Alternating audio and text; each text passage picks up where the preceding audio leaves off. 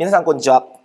えー、レック専任講師の田中です。えー、今日は合格答案作成講座の、えー、説明と、それから簡単な、えー、プレ講義ということで、えー、少し、えー、このお話をさせていただこうと思っております。えー、まず、この合格答案作成講座というのは、予備試験の論文式であったりとか、えー、法科大学院入試の奇襲者試験の、えー、論文対策という形で、えー、具体的な、えー、事例問題をどんどん数多く解いていくという、えー、講座になります。えー、実際の問題数としては7科目すべてということになると、まあ、民法なんかは問題問題数が多いですけれども、まあ、1科目平均50問から、えー、大体100問の間、まあ、合計、えー、約、えー、500問弱ですかね、えー、の問題を次々答案構成をしながら、えー、考え方ですね、えー、論文で必要な考え方を学んでいくという講座になります。えー、具体的に扱う問題については、まあ、予備試験の過去問に関してはですね、えー、平成23年の第1回の予備試験から、えーまあ、令和3年の直近の問題ですね、えー、までの全ての問題を扱うのに加えて、えー、やっぱり予備試験と親和性の高い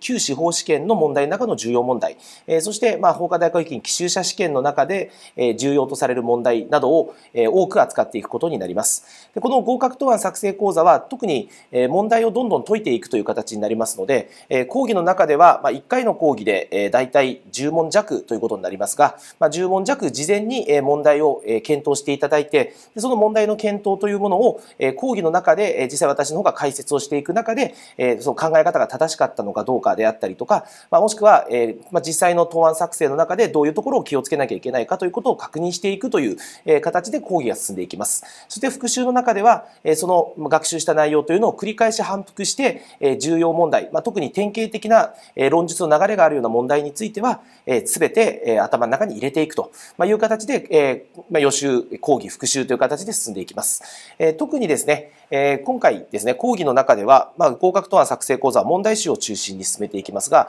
まあ、例えばこのような形になっています。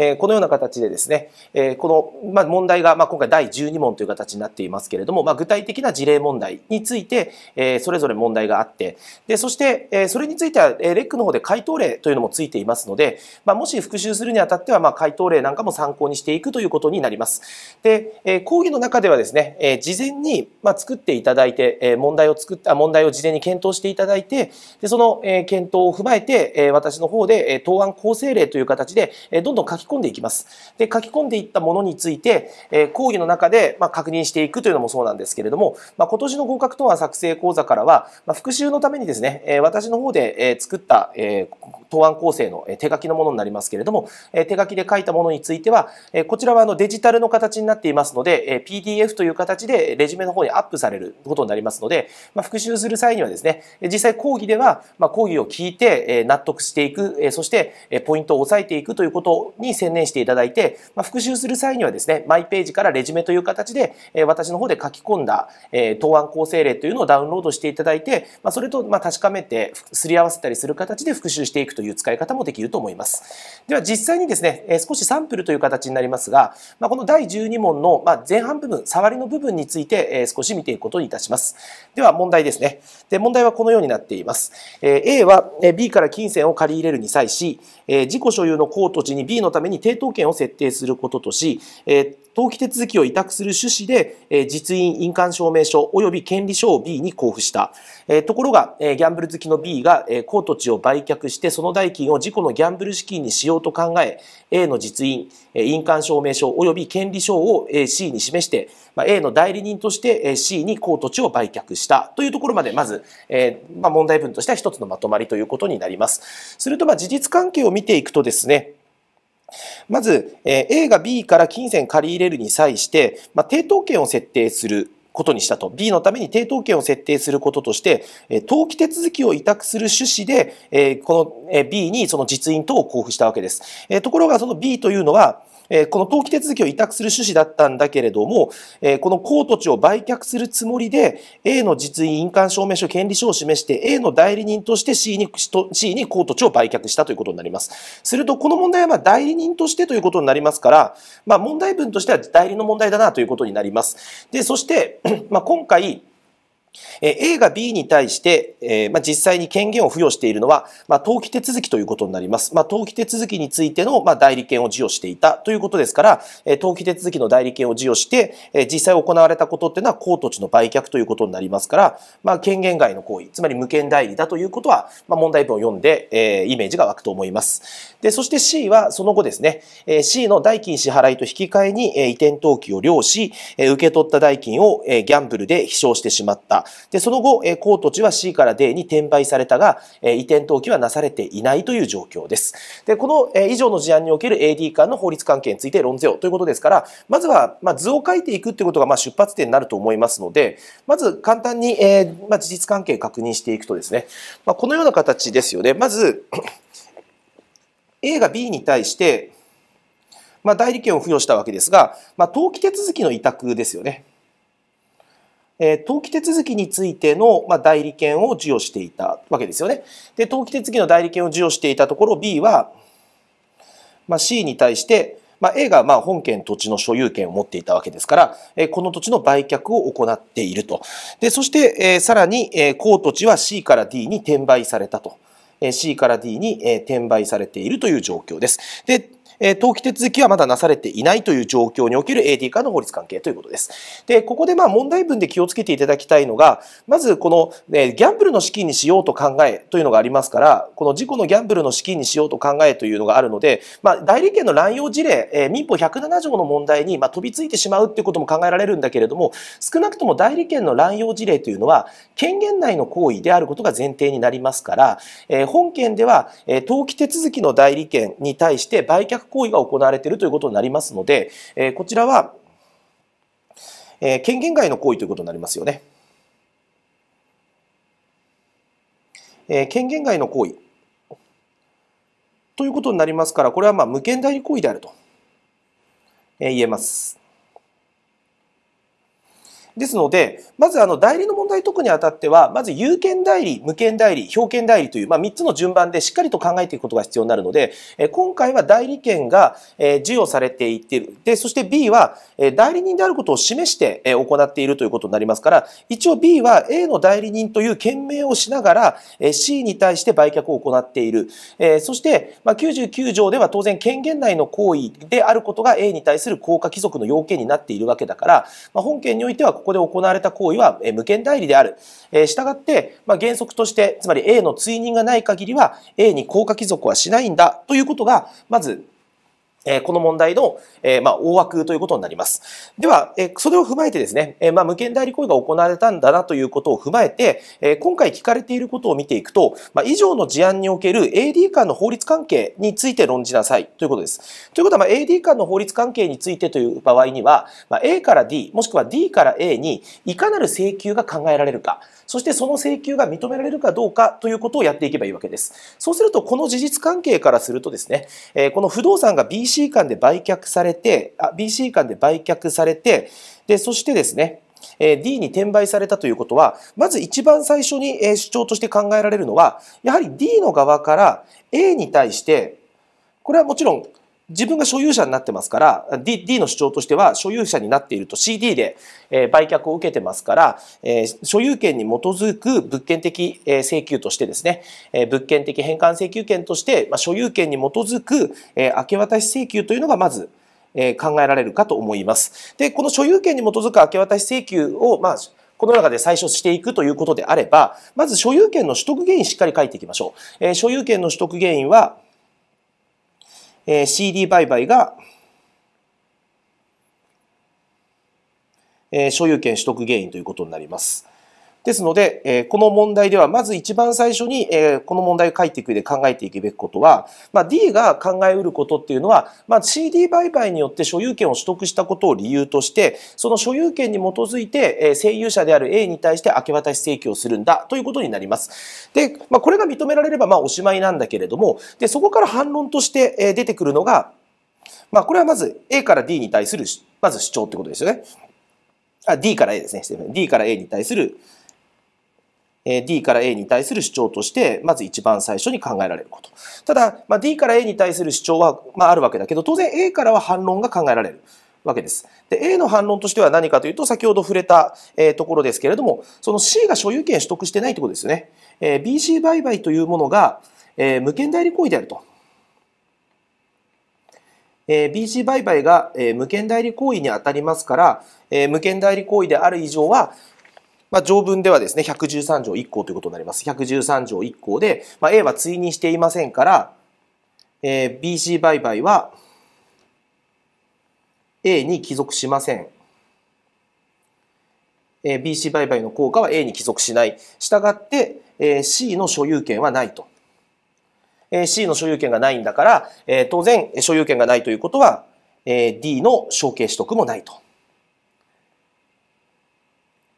D の承継取得も認められませんと、まいう形で反論がなされると思います。で、そうするとですね、まず、このようにま問題を解いていくにあたっては D からの主張とその根拠、そして A から出てくるであろう反論、当然この無権代理行為ということで書いてありますけれども、なぜ無権代理なのかということについては、えー、もともと与えられていた、え、代理権が、え、登記手続きですよね。もともと与えられた代理権が登記手続きなんだけれども、実際行われたのが、え、売却行為であるということを、え、適時した上で無権代理行為だよというふうに言ってあげればいいわけです。で、承継取得ができないよということで、まあ、D からの反論が出てきて、そうするとまあ無権代理の反論が D から出てきたということになりますから、今度は、まあ、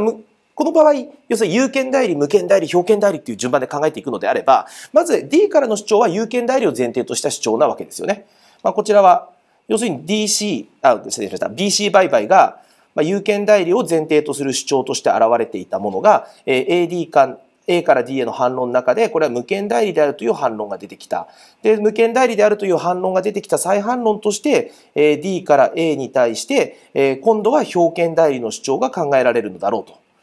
まあ、いう筋道を作っていくということが大切になってきます。で、このようにですね、あの、問題文なんか、行き当たりばったり行くというよりは、問題文読んでって、な論点に飛びついていくというよりは、まず一番最初に考えうる D からの主張を見つけて、で、D が有権代理、まあ、BC 売買が有権代理であるということを前提と主張してるんだから、A からは無権代理の反論が出るし、えー、当然 D から逆に今度は表権代理による効果帰属というね、えー、表権代理ということは、えー、BC 売買の効果が A に帰属する。したがって、えー、C が所有権取得するから、それを、えー、承継取得するんだというふうな、えー、考えが当然 D からは出てくるということになるわけです。で、す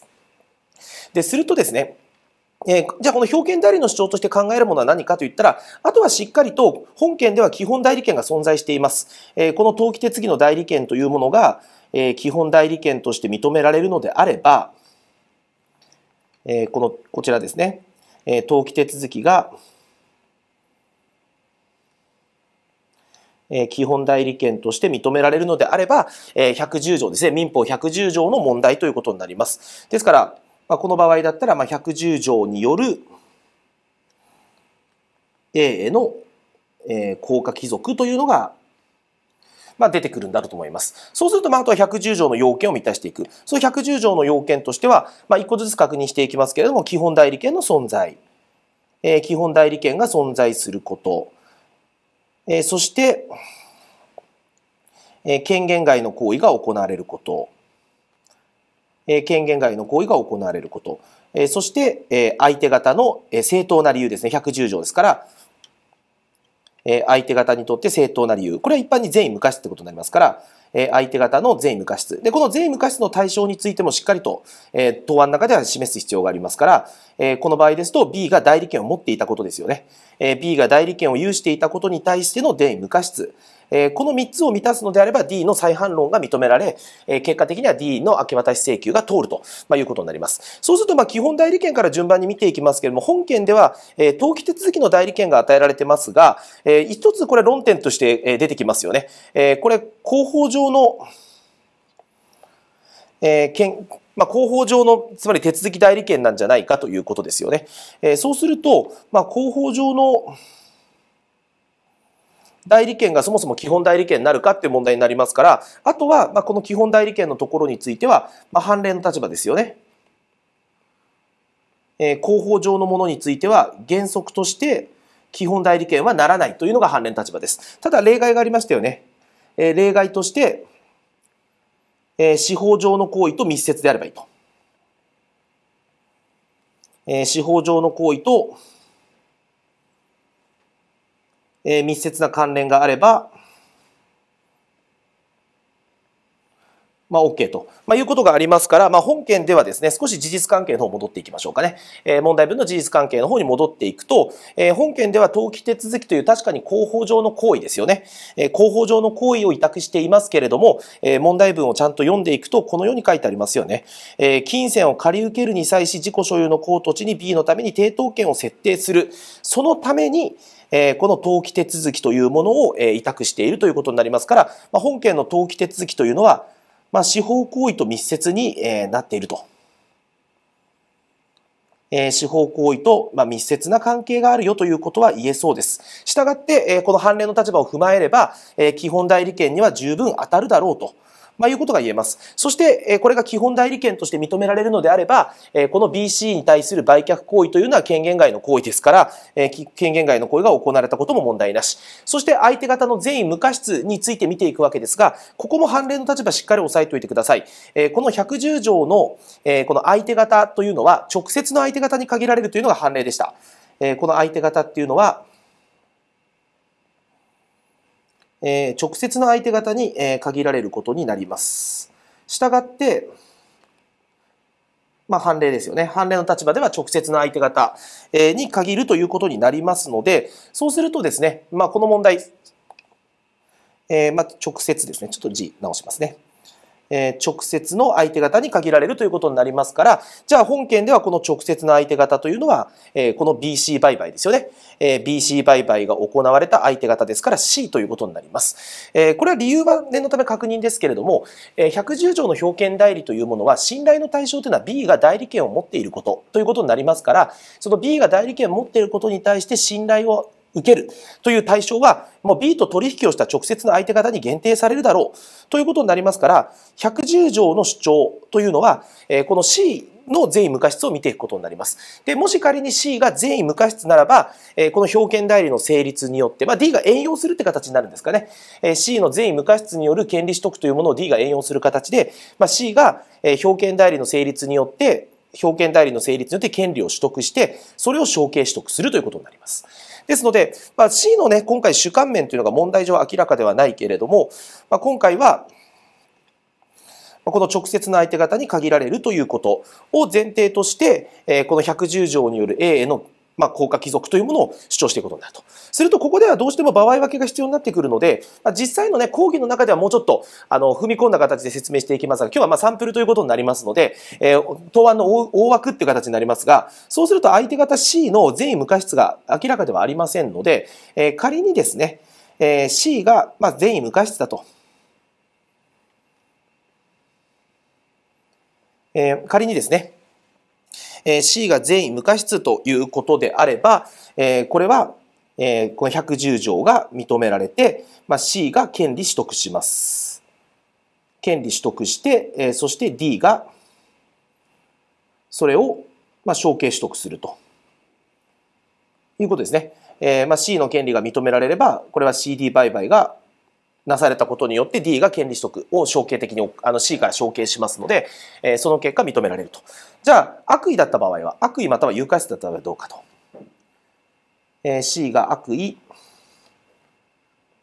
または有価質だった場合はどうなるかというと、えー、その場合には C が権利を得られませんので、ということは、結局 D の権利取得も認められないということになります。D も×ということになりますよね。で、ただ、えー、これでまあ大きな枠組みは立ったけれども、じゃあ、えー、この事案ではね、まあ確かに C が悪意だった場合には、まあちょっとしんどいのかなということを先ほど触れましたけれども、ただ、ちょっと問題文見ていくとですね、もう問題文はもう余すところなく見た方がいいです。えー、B は C の代金引き換えと、えー、ともに移転登記を了したということがあります。ということはですね、現在登記がどこに行われているか、まあ本来だったら問題文読みながらね、えー、登記書いていくんですけれども、今回はまあ講義の中でね、えー、説明する便宜上、今ちょっと話してますけれども、まあ、登記どうなってるかとか、あの、もしこの不動産に関する問題っていうのが出てきたときには、本来だったらね、えー、どこに今占有があるのか、そして、えー、現在登記がどこにあるのかということについては、まあ、問題文の中でしっかり、えー、拾っていく必要がありますので、えー、今回は登記は、えー、この BC 売買の際に C のもとに登記がある。という状況になってます。ということは、まあ、問題見ていくと、まあ、C の登記が、えー、存在していることで D は取引に入ってきたと考えられます。えー、ですが、まあ、そだとしても原則としては権利取得できないですからね。えー、なぜならば C が権利を取得して、え、いません。で、権利取得してないということは C は無権利者ですから、仮に D が登記を取ったとしてもですね、えー、仮に C が登記を取ったとしても、えーまあ、C 登記があったとしても、結局登記に更新力ありませんから。えー、登記に更新力ありませんので、原則として登記を信じたという事情があっても原則として C の権利取得というのは、まあ、認めないよというのが、まあ、立場になります。で、ただ、この時に、まあ、論文対策の中でも何度も出てくる話になってくるんだけど、あの、登記を信じてえ取引に入って更新力がない以上は、え権利取得、え承継取得はできませんよっていうのが出てきたら、まあ、すぐに思いつかなきゃいけないのは、これが認められないとしても、えまあ、虚偽の登記ですよね。えまあ、虚偽の内容の登記を信じて取引関係に入ってきたということであれば、え94条2項の類推適用論は十分あり得ると。94条2項の類推適用による権利取得の主張というのは十分あり得ると。いうことになります。では、これで、じゃあ94条2項の類推適用が認められるかって言ったら、まあ、虚偽の登記を信じたという事情がありますので、えー、まあ、実際に、えー、虚偽の外観が存在していてですね、えー、虚偽の外観が存在していて C がそれを信じたという状況がありますので、あとはまあ A の奇跡性の方をちょっと見ていくとですね、A の奇跡性というのは、まあ、まあ言ってみればね、この A というのは C 名義の登記を作出するという位置はありませんよね。え実際にただ単に、え登記手続きの代理権を付与しているだけで、まあ、落ち度があるとしたら、不誠実な B ですよね。えこのような権限外の行為を行うような B を代理人に選んだということの過失にとどまる。えまあ、今回で言えば、え A がまあ、意図したことというのは、ただ単に登記手続きをお願いする。けれども、しかも、えこれはですね、所有権の移転登記という、え話ではなくて、抵当権の設定登記ですよね。こうね。えー、抵当権の設定登記の目的であったということですから、えー、C 名義の所有権登記にする、まあ、今回抵当権でしたけれども、えー、抵当権の登記手続きをね、委託する趣旨であって、C 名義の所有権登記を作るということについては、まあ、何らもこの A というのは認めてませんので、そうするとこの94条2項の類推的要論の中では A の奇跡性が大きいものではないと。えー、おそらくは、えー、これはまあね、学習していると思いますが、意思外形非対応型で処理していくと。ということは、A の奇跡性っていうのはね、意思と意思と外形が対応していませんから、えそうすると、まあ、94条2項と110条の類推ということになりますから、えー、従って D の主観要件というのは善意だけではなくて、えー、善意無過失まで必要になってくるということになります。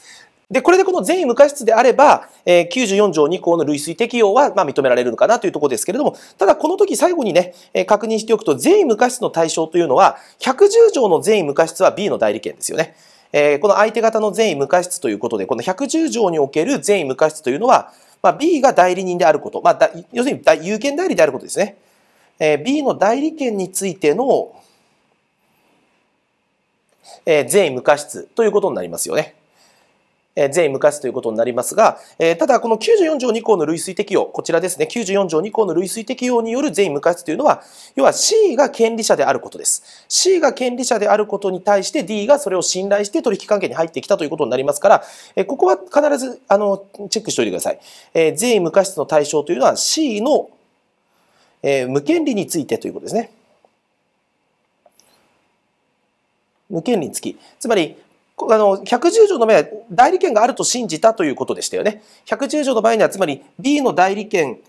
なしにつきなんですよね。B が代理権がなかったことについての税無過失なんだけれども、こちらの94条2項の場合には C の無権利につきということになりますから、えこの部分については、えしっかりと確認をしておいてください。えそうすると、この問題、え結論としては、え場合分けが必要になってきますが、まあ、このように、え有権代理の主張、え無権代理の反論、表権代理の再反論というのを組み立てていく中で、最終的に争点となっているのは、まあ、表権代理が認められるかどうか、まあ、今回 C の直接の相手方である C が、え実際善意無過失だったかどうかということです。で、善意無過失ならば、ま、問題なく、えー、まあ、承継取得できる。で、税無過失じゃなかった場合でも、えー、まあ、登記に更新力はないから原則無理なんだけれども、まあ、C 名義の登記を信じたということから、えー、判例上認めている94条2項の類推論で何とか保護できないかという、えー、形で処理していくことになります。で、このようにですね、えー、合格答案作成講座の中では、えー、まあ、いろんな問題をこういう形で、まあ、大体1回の講義の中でもうちょっとね、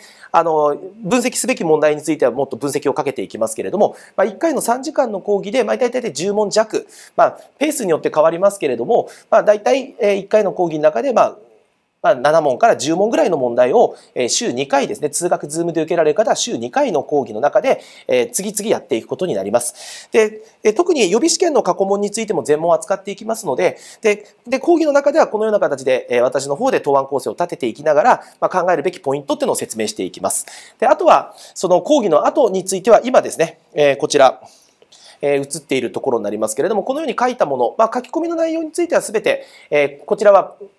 まあ、これ実際皆さんがね、講義で書くということもありますけれども、えー、ある程度復習のために、えー、使うということも予定されていますので、えー、こちらの方はすべて PDF の方でアップする形で、えー、そのデータを落とした上で、えー、これをまあお手元に置いて、えー、復習を使っていくということもできます。えー、特にまあ論文対策の問題っていうのは、まあ、数を多くこなしていくということも、えー、もちろん重要なんだけれども、合わせて、まあ、基本的な考え方であったりとか、えー、どういう点をしっかり書き漏らしてはいけないかということが、まあ、非常に重要になってってきますので、えー、この合格答案作成講座をですね、まあ、うまく活用していただいて、まあ、こちらは、ね、予備試験だと来年の予備試験の合格目標という形になります。えー、講義自体は、えー、ちょうど丸、えー、半年ぐらいですかね、半年強にわたって、えー、7科目しっかり、えー、やっていきますので、えー、少しですね、えー、まあ講義の具体的な内容等もですね、また、えー、体験動画みたいな形で出てくると思いますので、えー、ぜひですね、えー、予備試験の、えー、合格であったりとか、まあ、難関法科大学院の奇襲者試験の合格を目指されている方は、